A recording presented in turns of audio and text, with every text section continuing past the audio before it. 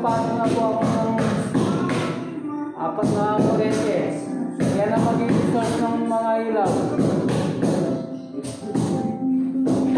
Ayun, nagabangan po ang ano doon, PVC hose na para doon.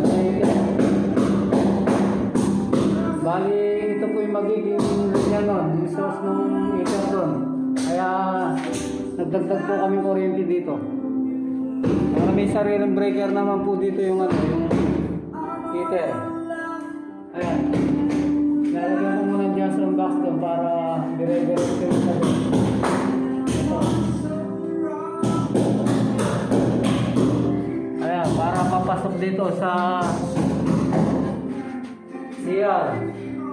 Ayan, para po itap ko dito. Ayan, yung, yung pinaka outlet niya dito. Dito po kasi yung heater niya sa ilalim ng lababo. Ayan ang po yung ginagawa namin dito. Wiring yung tirada namin ngayon. Ayun, napapansin nyo. Ayan. Lumami na po yung kuryente.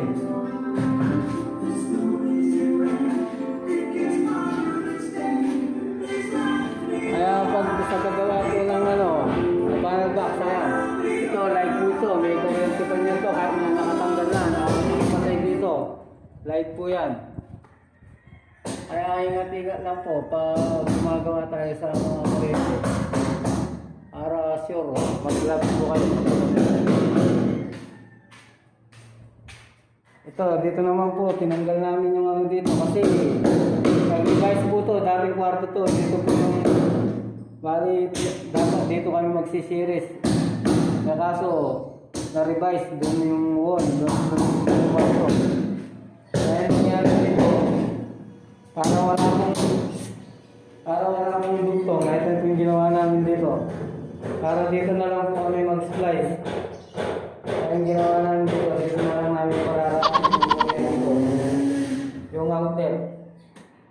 Para wala po siyang putol-putol yung kuryente. Kung halimbawa nagka-trouble, nagka-trouble, ah kung may sorted, mahihila po mga, mga kuryente. Po sila. Hindi yung putol-putol. Kasi, kung ano doon, kung di mo pagdudugtungan, pag nagka-problema, hindi po nila mahihila. Kaya, yung sa kuryente doon, dinir- diniretso na po dito sa kwarto. Yan. Back to back na po yan. Diyan na kami kukuha source yan. Pupunta na dito.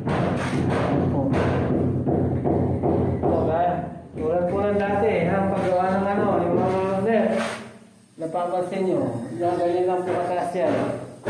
Mga 50, magbuhat sa flooring. Ayan po. Yung mga switch, nilagay ko na rin. 150. Taas. Ito po yung mga iyento ng tulian ko. Meron na rin po sariling ano to, breaker to. Hinte. Ano po yung ginagawa namin ngayon dito?